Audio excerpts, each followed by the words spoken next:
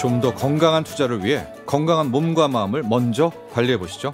건강 수익을 챙기는 힐링 코너 돈이 보감 민예은 한의사와 함께합니다.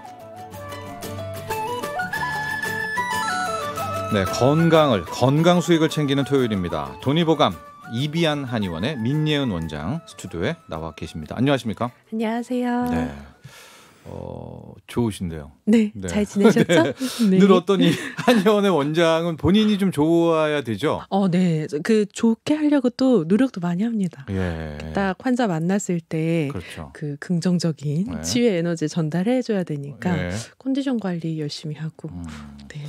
제 친구도 이제 피부과 의사가 있는데 어. 늘 본인도 어, 아, 피부 관리에 그럼요. 왜냐 그래야 되지 않으죠? 그럼요. 예, 그러냐. 그렇습니다. 어, 어, 이현진님 1년새, 2년새, 1, 2년새 체중이 10kg 이상 늘었어요. 증상은 없는데 혈압만 재면 완전 고혈압입니다. 걱정입니다. 어. 어, 이런 분이 계시거든요. 네, 혈압은 네. 높은데 증상은 없어요. 원래 대사증후군이 증상은 없어요. 아, 그래요? 어, 증상이 없는데 네. 지금 재면 완전 고혈압이라고 했잖아요. 예. 저희가 저번 시간에 두 가지 두 군데에서 재봐야 된다라고 설명을 드렸었거든요. 네네. 근데 두 군데 졌어도 고혈압인 경우에는 3개월 동안 생활 관리 해보자라고 음. 말씀을 드렸었는데 네. 그때 이제 조금 더 빨리 낮출 수 있는 방법으로는 그냥 가까운 한의원 가셔서 흉추 교정 받으셔라 음, 네. 했는데 예. 좀 가보시면 좋을 것 같아요. 예, 한번 음. 흉추 교정을 받아보고. 근데 저희가 생각하기에 고혈압이면은 막 띵하고 막뭐 음. 답답하고 심장이 두근두근 될 것만 같은데 음. 증상이 완전 없을 수도 있네요. 네 네 느끼는 게 없을 수 있어요. 아, 그래요. 음, 그럼요. 어, 예. 예. 늘 재봐야 됩니다. 네. 재보고 가까운 한의원으로 음. 가셔라. 음. 지금 5대 우리 음. 대한민국 국민입니다. 음. 5대 대사증후군을 계속해서 하나씩 하나씩 각계격파하고 있는데요. 음. 지난주는 고혈압을 했었고요. 자, 오늘은요. 오늘은 바로 바로 이것입니다. 네, 네. 오늘은 당뇨병입니다. 네. 인슐린에 켜진 경고 등 음. 투자에서와 같이 위험 신호를 무시하면은 안 된다. 이게 당뇨병이 그렇죠. 네, 네. 그 전에 위험 신호를 보내죠. 보냅니다. 네. 네.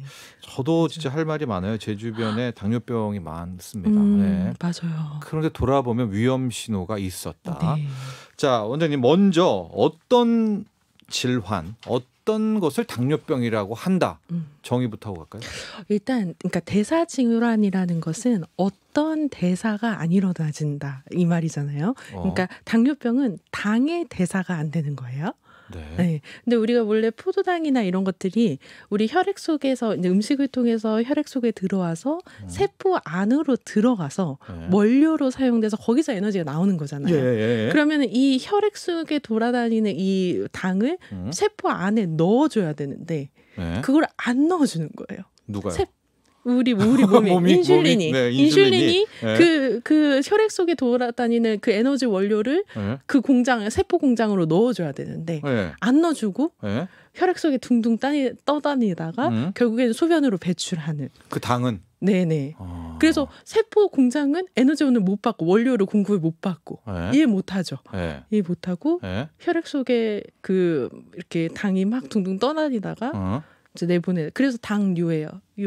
그 소변에 소변이요? 소변에 당이 있다. 음. 그래서 그게 바로 당뇨입니다. 그럼 요 녀석이네요. 그 호르몬이죠. 인슐린이 역할을 해줘야 되는데 맞아요. 못해서 네. 들어온 족족 이 당들은 이 소변으로 나가는 뇨로 다 빠져나간다. 네.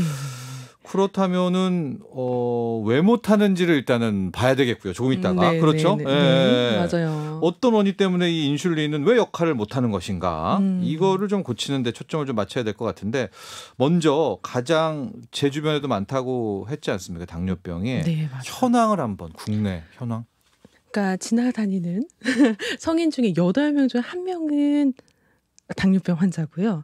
특히 이게 60 60세 이상이 넘어가면 예. 네명 중 한 명으로 빈도가 많아지는데 예. 그 중에서도 우리가 당뇨병이 있고 당뇨병 전 단계인 사람들이 있잖아요. 음. 그 당뇨병 전 단계의 사람은 두 명 중 한 명.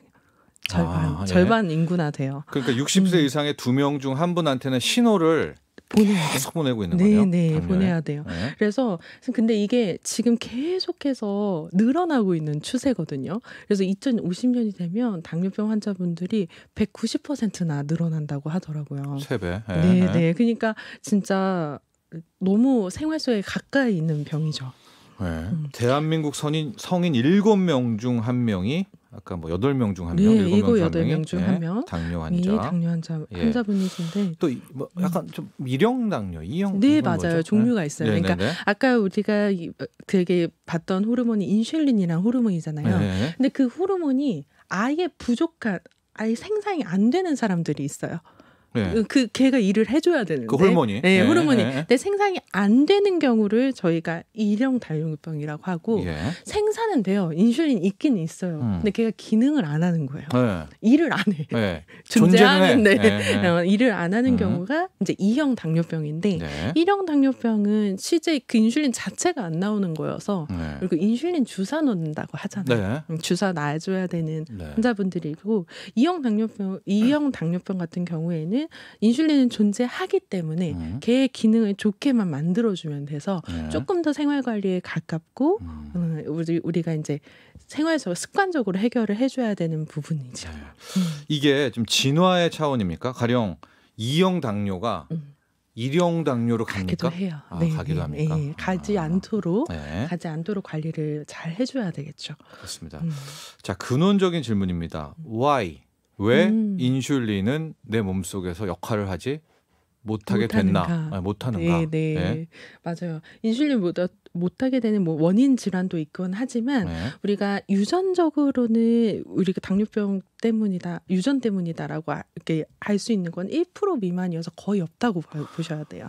아, 유전은 근데 그래요? 네, 환경적 요인이 거의 이제 많이 있는데 예. 그 중에서도 제가 아까 60세 이상이면 두 명 중 한 명이다라고 얘기할 정도로 네. 연령이랑 되게 연관이 많이 있고요. 네. 그러니까 평생 평생을 당을 대사해서 살아가는 그 인간이다 아, 보니 거구나. 그 부분이 네. 당연히 지칠 수밖에 없죠. 평생에 네. 있는 일, 일어나는 일이잖아요. 그리고 음. 비만인 경우에 당연히 그렇고 스트레스도 있- 있는데 네. 임신이라는 이제 이슈는 항상 당 당과 연관이 많이 있고요. 예. 그리고 우리가 어떤 질병을 치료하기 위해서 다른 것 때문에 뭐 면역 억제제를 장기간 복용한다든지 스테로이드를 장기간 복용하는 경우에도 예. 어 그건 내 질병 치료 때문에 먹는 거지만 음. 장기 복용했을 때 당뇨를 유발하는 경우가 있어요. 아, 음. 저도 좀 약간 잘못된 생각을 갖고 있었던 게, 어, 제 주변에, 어, 뭐 그냥 여자분인데 그분의 어머니도 당뇨인데 음. 이 친구도 당뇨거든요. 그래서 저는 약간 당뇨도 어. 유전이 아닌가라고 했는데 아, 거의 없다. 그러니까 이것이 이 유전자 때문이야라고 이렇게 증명할 수 있는 것이 아. 적다라는 거지. 아, 언제나 모든 질병은 유전 유전이 있으나 그게, 그게 네. 적다는 거고요. 네, 네, 오히려 네. 고령, 비만, 네. 스트레스, 또 감염, 음. 약물 음. 이런 거가 이제 우리의 호르몬이죠. 인슐린의 역할을 이제 미미하게 또 못하게 만드는 건데 맞아요. 이게 무서운 병이라는 얘기가 정말 정말 많거든요. 맞아요. 영화에도 막 으윽 하다가 주사 막 맞게 되고 그렇죠. 맞아요. 예. 그러니까 사실 당뇨 자체보다 당뇨 합병증 때문에 무서운 거죠. 예. 네, 그러니까 음. 이게 당뇨 합병증이라는 것이 일단 생기고 나면 돌아오는 길이 너무나 멀기 때문에 그런 건데요. 아, 네. 우리가 이제 합병증에 대해서 많이 들어보셨지만 저희가 또 한 번 더 정리를 네, 해보자면 해주세요. 가장 첫 번째로 우리가 만성 신부정, 신장 기능이 안 되는 거, 우리 소변 배출하려면 신장이 일을 해줘야 되잖아요. 네. 그 신장에 있는 기능이 떨어진 걸 만성 신부정이라고 하는데 만성 신부전의 가장 흔한 요인이 당뇨병이고요. 어, 우리가 교통사고를 제외하고 교통사고 예. 때 우리가 발이 이렇게 절단이 될 수가 있잖아요. 네네네. 사고로 인해서 음. 그걸 이거를 외상이라는 사고를 제외하고 발을 잘라야 되는 족부 전단의 가장 큰한 원인이 네. 바로 당뇨병이고요. 그러니까요. 그, 음, 예, 예. 그리고 시력 손상, 그러니까 음. 눈이 안 보이게 되는 시력 손상의 전 연령을 통틀어서 가장 흔한 원인이 음. 당뇨병이고요. 음, 그리고 췌장암, 네. 예, 이렇게 비장이 연관이 있잖아요. 그래서 네. 췌장, 췌장과 심혈관 지- 질환 삼, 사망률은 세 배 정도가 증가가 돼요. 음. 그래서 합병증은 정말 무섭기 때문에 음. 이그 전에 당뇨 전 단계에서 충분히 해결을 해줘야 되는 부분입니다. 음. 그러니까 그 혈당이 뭐, 뭐 쉽게 말하면 어떤 세포로 딱 들어가서 일을 해야 일을 되는데 해줘야 되는데. 혈관을 돌아다녀서 생기는 문제잖아요. 네, 안, 일을 안 하죠. 안에 안 들어가 주니까. 그러면 그- 네. 세포는 세포대로 망가지겠죠. 그- 일을 못 하니까. 아우 혈관에는 당이 막 떠다니면서 그게 나쁜가요? 네, 당이 떠다니면서 걔가 어 우리 협심증, 네. 심근경색 다 혈관에 막아서 생기는 것들이잖아요. 예. 혈관이 왜, 막, 왜 막히냐면 거기에 상처가 생기기 때문에 염증이 생기고 네. 그러면은 그걸 복구하기 위해서 우리들 도로도 네. 그래서 도로 거기 거기가 문제가 생기면 막, 막 불난 집에 뭐 소방차도 와야 어, 되고 예, 이러면서 예, 거기를 예. 막으면서 네. 그 뒤에는 전혀 차가 움직이질 못하잖아요. 예. 그것처럼 우리 몸의 염증 상황을 곳곳에 만들어요. 아. 그래서 그 혈관으로 모든 그런 필요한 성분들이 음. 가, 각 기관에 영향을 해줘야 되는데 네. 그런 영향을 수송하는 그 길 자체가 음. 망가지기 때문에 네. 그래서 그래서 안 좋습니다. 아, 음. 여러분도 이제 뭐 기초 상식으로 아시겠지만 또 가족이나 이렇게 당뇨병 환자분이 있는 분들은 더 잘 알겠지만 음. 당뇨는 당뇨 합병증으로 갈 때더 네. 무섭고 또 흔한 합병증이 당뇨발 음. 그렇습니다. 말씀하신 대로 이제 혈관을 음. 손상시키는 거다. 예. 음. 그래서 족부절단 환자가 음. 무려 이, 뭐 연간 2천 명인가요? 네. 아, 네, 저 엄청 몰랐는데. 많죠. 엄청 많아요. 이게 생각보다 많이 있습니다. 그래서 진짜 조심해야 돼요. 네. 음. 하고 당뇨 망막 병증 네, 시력 그러니까. 여기도 이제 혈관. 음, 네. 아, 그러니까 다 약한 쪽의 혈관부터 망가지겠죠. 네. 어, 신 신장도 혈관이 아주 많은 곳이고 약한 혈관들이 네. 그리고 눈도 혈관들이 있는 곳이고 음. 특히 심장의 족부 질환은 심장과 제일 먼 곳이어서 네. 제일 끝에서부터 이제 문제가 생기는 상황인 겁니다. 그렇습니다. 만성 신부전증은 정말로 당뇨의 거의 음. 가장 흔한 음. 요인이고요. 어, 췌장암까지도 또 이렇게 당뇨와 네. 연관이 깊다. 그런데 앞서 이제 모두의 이런 이야기를 우리 민니언 원장께서 해주셨습니다. 신호를 꽤 오래 보내준다. 음. 어, 나 음. 아플 것 같아. 음. 그렇죠. 인슐린, 그러니까 전조 증상이라고 하는 맞아요. 거고요. 이게 오늘의 포인트인 것 같아요. 왜냐하면 이제 음. 이게 겪으신 분은 이 인슐린도 하고 치료를 하게 되는데 이걸 좀 네. 막아내고 싶은데 어떤 전조 증상이 있을까요? 우리가 보통 열 명 중에 세명이 모른대, 모르고 있어요. 그래서 자가 진단법은 삼다를 조심하셔야 돼요. 아, 먼저 자가 진단해 보자. 네 네. 첫 번째는 물을 너무 많이 마시, 갑자기 많이 마시게 되는 경우예요. 예전에는 어, 거의 한 두 배, 세 배 많이 드시거든요. 평소에 먹던 양에 비해서. 전데요. 아, 네, 저 평소에 갑자기, 네. 갑자기 네. 네. 네. 그러니까 이게 왜 그러냐면 이게 음. 본능적인 증상인데 음. 혈액 속에 이 우리는 항상 일정한 농도를 맞추기 원해요. 우리 몸은 항상성을 가지니까. 아, 당 당에 네, 당분에. 근데 그게 너무 혈관 속에 많아지니까 어. 우리 몸은 방어 작용으로 내보내야 되겠죠. 그러니까 음. 물을 엄청 마시게 돼요. 음. 음, 그래서 그게 첫 번째 네. 다음. 근데. 다음은요? 음, 두 번째는 많이 마시니까 화장실을 많이 가겠죠. 네. 어, 내보내야 되니까. 그래서 어. 정상인들은 보통 하루에 1.5리터 정도의 소변을 양을 본다고 해요. 근데 예. 이 내가 거의 막 두 배, 3리터 정도 이렇게 가는 경우에는 아. 어 진짜 생각해 하셔야 되는데 이게 전립선하고는 다르네요. 왜냐하면 전립선은 소변을 안- 보러 가도 안 나오는데 음, 맞아요 달라요. 아 너무 많이 나오는 거죠. 그래서 음. 뭐네 그리고 특히 밤에 밤에 음. 더 이제 많을 경우에 더 의심을 해줘야 된다. 네. 그리고 어 세 번째는 다 식이에요. 많이 먹는 거. 그러니까 포도당을 먹어요. 우리가 음식을 먹는데 네. 그게 내 세포에는 안 들어간단 말이죠. 네. 그래가지고 나는 허기 허기를 느끼니까 계속 먹는데 아, 살은 빠져요. 살은 빠져요. 살은 빠져요. 어. 그래서 많이 먹는데 살이 살이 빠지는 경우에는 당뇨를 의심해야 돼요.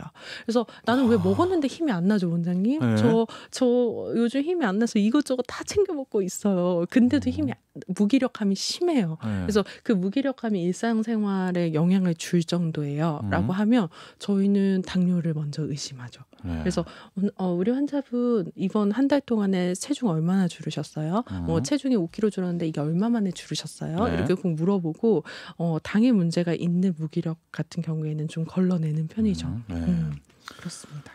어, 그리고 또 눈도 네, 침침해지고 네, 침침해지거나 시야도 허려지고 그리고 이제 뭐 피부가- 피부 같은 어. 것들이 이제 뭐 치주염이라 해서 잇몸에 뭐가 뭐 피가 나거나 이렇게 했을 때도 상처 치유가 잘 안 돼. 어, 유독 안 되고 어, 뭐 이렇게 피부 이런 접히는 주름이나 이런 부분들도 막 착색이 일어나기도 하고 네. 이런 이런 신호들을 보냅니다. 네, 보내서. 알겠습니다. 음.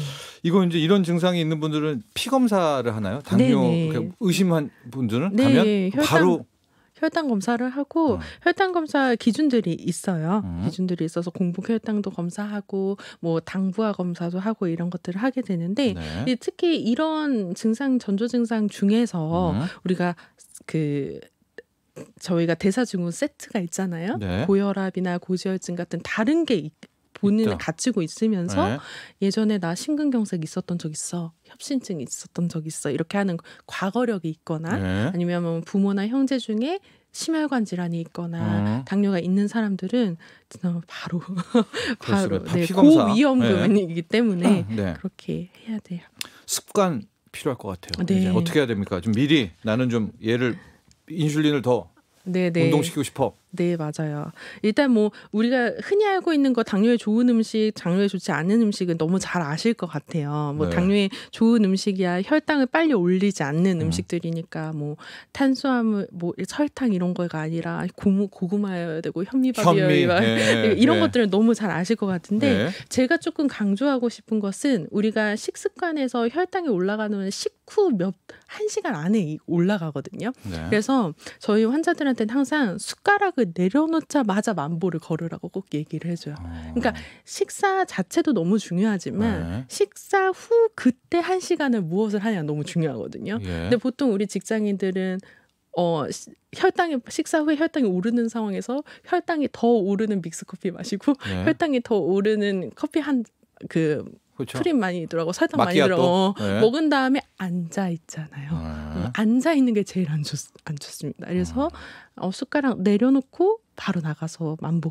걸으셔라. 네. 라고 이야기를 해드리고요. 음. 평상시에는 이제 제가 건강의 시드머니라고 하면 우리 투자할 때 시드머니를 많이 네네네, 모아야 되잖아요. 네네네. 하체 근육이 건강의 시드머니라고 얘기해요. 스쿼트? 네, 얘기해요. 스쿼트든 뭐든 간에 네. 일단 알겠습니다. 허벅지 근육들을 어. 많이 모아달라. 아, 그거를 모으셔야 됩니다. 허벅지를 키워라. 네, 허벅지 하체 근육들이 하체 근육을 음. 키우는 것이 네, 돌고 돌아 당뇨를 막는데 네. 큰 힘이 된다. 맞습니다. 네. 그래서 수- 어, 숟가락 목 놓자마자, 놓자마자. 걷는 습관 네. 그리고 평상시에는 하체 근육을 단련하는 습관들이 필요할 것 같아요. 스쿼트, 등산 등등, 네, 자전거 좋죠, 좋죠. 등등으로 우리 당뇨를 모두 예방하시기 바랍니다. 자, 오늘은 어, 5대 대사증후군 중에서 당뇨병에 대해서 살펴봤습니다. 오늘 여기까지 하죠. 감사합니다. 네, 감사합니다. 이비안 한의원 민예은 원장과 함께했습니다. 나도 부자 되고 싶어서 라디오를 켰어 정확하고 철저한 정철진의 목돈 연구소